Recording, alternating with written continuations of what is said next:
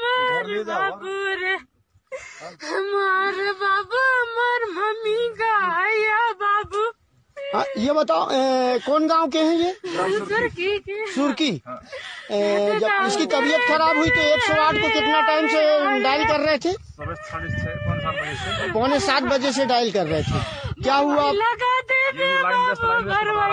हाँ। तो गाड़ी आ जाएगी तो आएँगे अच्छा।